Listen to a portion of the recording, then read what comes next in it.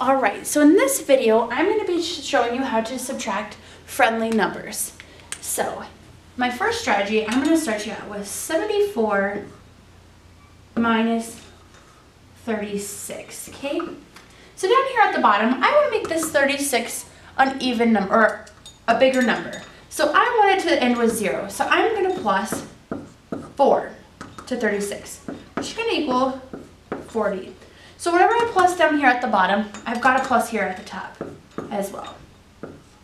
Okay, so I have 74 plus 4, which is going to equal 78. Okay, now I'm just going to draw a box down here because we're minusing these. So we have 8 minus 0, which is 8. 7 minus 3 is going to equal 38. So we're going to check this answer. We're going 74 minus 36. Okay, cross that out. Cross that one. That's a 6. Comes a 14. 14 minus 6 is 8.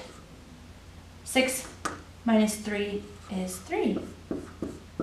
And that is how you subtract friendly numbers.